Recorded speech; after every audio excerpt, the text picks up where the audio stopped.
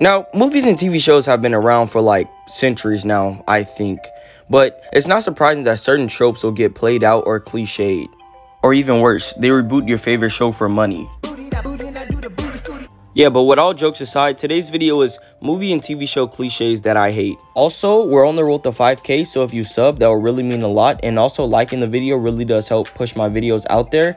And I have a Discord, first link below. And let me know what you think of the video in the comments. Enjoy the video. First up, we have the Wisdom Guy. Now, this guy is commonly known for just coming out of nowhere and just dropping some random wisdom that nobody really asks for. These guys somehow know everything in the world and always end up training the main character or giving him some type of wisdom. But what I don't understand is, whenever the main character asks these guys something, they always answer it in a riddle instead of giving it straightforward. Master Oogway, the nukes are going off. I need the password to stop it. One often meets his destiny on the road he takes to avoid it. What does that even... For some reason, they always die the same. Like, when they're getting ready to die, they just all turn into like this big pile of dust and just fly off to the wind for some reason.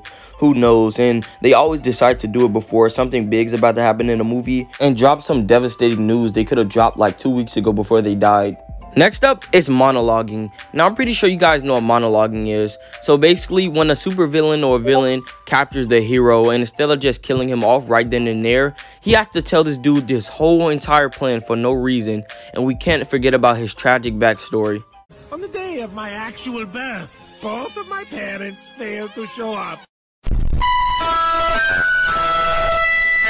If done correctly, I feel like it could be a good plot device and, you know, to draw attention. But most of the time, it's just used as like a, a time saver to extend out the movie, if I'm being honest. Now, this next one is a classic for action movies. I'm pretty sure I have never seen an action movie where this didn't happen. The good old just walking away and something just randomly explodes in the background just to make the main protagonist look cool. I mean, I'm cool with it. I mean, like, it, it does look cool. But it's an extreme cliche, so it doesn't get the pass. Oh yeah, I almost forgot the classic, the superhero saves the damsel in distress out of literally nowhere. Like they, it could be anybody. It could be three seconds away from death, and the superhero just comes out of nowhere and just saves them.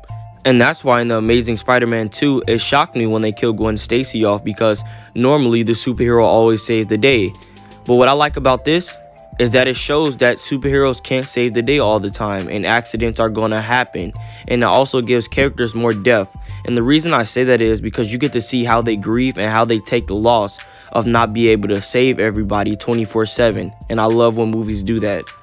Does nobody find it weird in like all of these human slash animal TV shows that the main character always have a pet even though it's an animal itself? Like take Mickey Mouse for an example. Okay, Mickey is a mouse, Goofy is a dog, but so is Pluto. So why can't he talk? I actually can speak. Mickey told me there is only room for one talking dog on the show. And if I speak, he will have Goofy do horrendous things to me. Please help me. I'm dying on the inside. Oh God, why? It's so cold. Oh God, why take me from this curse of earth?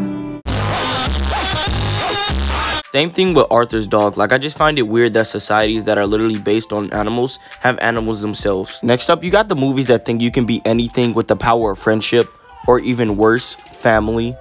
It's gotten so bad that the motto for every Fast and Furious movie now is just family. And not only that, anytime it's like a new villain, the only way they beat them is with family.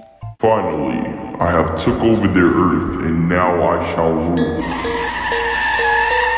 Seems to be some type of sports car. Yo, I'm Vin Diesel and I'm gonna stop you. That's literally impossible. I am a multi-dimensional demigod that can destroy planets with one look. What do you have that I don't? I got family. I'm Vin Diesel. Same thing with the Flash series on the WCW. Like, anytime this man is going through a problem, whatever, somebody just comes out of nowhere and just be like, run Barry, run faster, or he only gets faster because somebody in his family is in danger. It's super cliche and just needs to stop. Can someone please explain to me why in movies and TV shows, as a character is wearing glasses, they're just automatically just known as ugly? And as soon as the person takes the glasses off, they just randomly get hot, just like glasses just hold this ugly power. And when you take them off, you just get madly beautiful. Like it doesn't make sense. There's too many horror movie cliches. Like, I'm not even joking. Like, if I really want to sit here and name every single one, this video would be 20 minutes long. So, instead, I'm just going to name some of the most popular ones. First up, we have the lady that literally trips on anything. Like, it'd be no obstacle in front of her.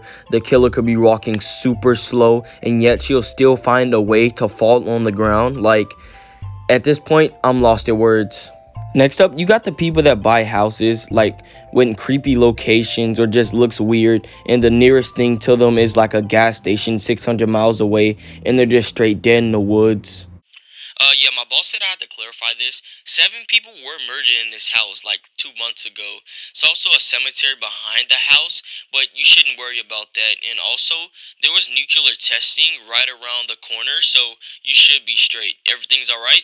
We'll buy it. And then you have the people that can avoid the situation but decides not to for some reason. Did you hear that? I think we should go check that out. Like, nobody in their right mind would hear a demonic noise and be like, let's go see what that noise was. Next up, you have bullies. Now, bullies in movies are awfully kind of weird to me if you ask me, because the way they're portrayed is just so fake. Like, I find it hard to believe that people used to get stuffed in lockers or had their heads, you know, pushed into toilets. It just, uh, it just seems so weird because, like, do teachers and like security guards do they not notice when like 50 people go into the bathroom and you just hear this one kid screaming like like where where where is everybody? And i'm not trying to say bullying doesn't exist and yes teachers are dumb and they will overlook a lot of things. But what i'm saying is in like movies and tv shows it's kind of overdone and like kind of cringy if you ask me well guys this is the end of the video. Sorry the video wasn't like normal length of 10 to 8 minutes but like i really got stuff to do. And also i just came off of a youtube strike and i couldn't post for seven days if you were wondering why i haven't posted in a long time. So that was interesting but yeah hope you guys enjoyed the video. Don't forget to smash like and sub and i'm Simply J One, two, three, uh. my baby don't mess around because she loves me so and this i know for sure